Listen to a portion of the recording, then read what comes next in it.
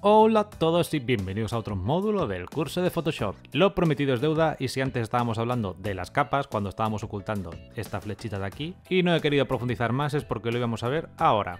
Las capas es un elemento súper importante cuando queremos hacer un proyecto en Photoshop, ya que esto nos sirve para organizarnos. Con esta gestión de capas podríamos pues subir elementos, duplicarlos, eliminarlos, agruparlos. Cuando haces algo básico realmente no le ves mucho sentido, pero cuando empiezas a hacer ilustraciones en las que estás dividiendo por colores, por capas, por elementos, mmm, créeme que es necesario. Por ejemplo, aunque no parezca gran cosa, en esta miniatura que estamos viendo, que es una que he abierto así de forma aleatoria de mis proyectos, podemos ver la cantidad de capas para una simple imagen. Voy a ampliar un poquito el área de las capas para que lo podamos ver mejor. Cuando accedemos a las capas podemos ver lo siguiente. En la parte izquierda veremos aquí que nos pone una especie de icono de ojo, lo que quiere decir que si yo cojo y lo pulso, lo que hago es activar o desactivar el valor de la capa para que sea visible o no.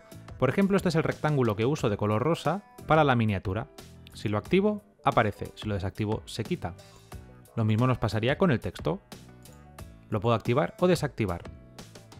Este icono que aparece aquí en la parte derecha serían los efectos, que esto también lo veremos en otro módulo, pero lo mismo, aparecen los efectos, lo mismo con el ojo, si ahora desactivo el trazo, por ejemplo, que se esté de aquí, veis que ahora con un clic aparece sin ese contorno que teníamos de color negro. Además, con las capas, pues podemos modificar la opacidad. Vamos a ver el ejemplo con esta misma capa de texto. Si yo ahora, mientras estoy pulsando la capa de texto, si la tengo seleccionada, me voy a donde pone opacidad, vemos que me aparece una opción para poder determinar el volumen de opacidad. Veis que ahora, por ejemplo, el texto está a un 60%. Queda con esta transparencia. También podemos mover los elementos. Si ahora me voy a la flecha, que sería esta capa de aquí, lo podemos comprobar activando o desactivando. Si le doy a la tecla V como hemos visto antes, puedo mover el elemento. Si ahora yo me voy a la capa de texto, como tengo pulsada la herramienta de movimiento, lo mismo, puedo mover simplemente este elemento. Control Z para deshacer los cambios. Si quisiéramos transformar una de las capas, utilizaríamos, como hemos visto antes, el atajo Control T y lo que hace es herramienta transformación. Yo esto lo puedo hacer más grande, lo puedo rotar.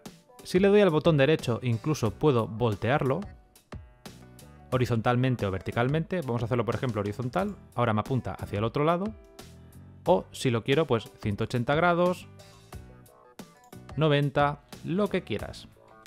Si quiero seleccionar, por ejemplo, todas las capas que tengo aquí visibles, me voy a la primera y pulsando la tecla Shift y me voy a la última, me selecciona todo el rango.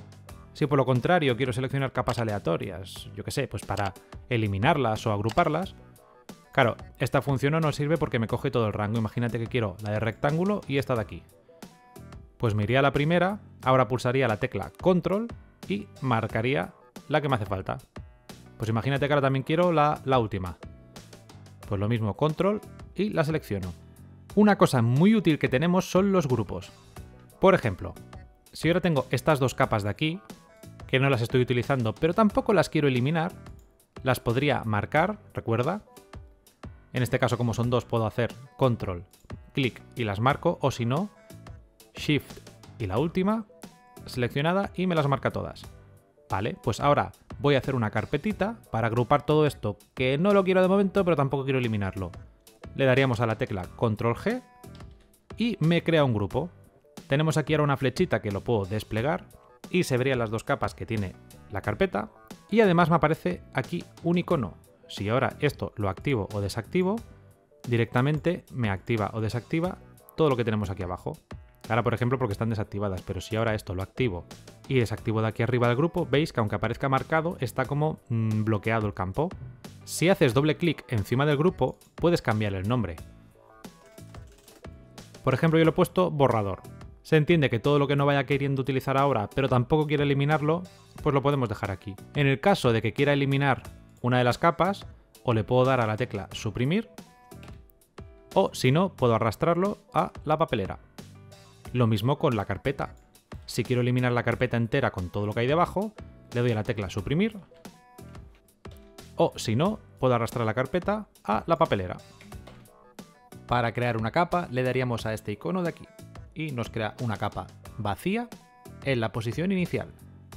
Además podemos cambiar el nombre de todas las capas. Esto nos sirve porque ahora realmente con tres o cuatro capas para una miniatura de YouTube, pero créeme que cuando estás con una ilustración bastante complicada, tener un montón de elementos es necesario que estén bien etiquetados. Imagínate que tienes elementos en la parte de adelante, que hay alguna especie de, de árbol con plantas, después está el personaje, después tienes el fondo, alguna nube, efectos que pongas de humo, o que hay varios personajes, es vital tener una organización y sobre todo tener nombres.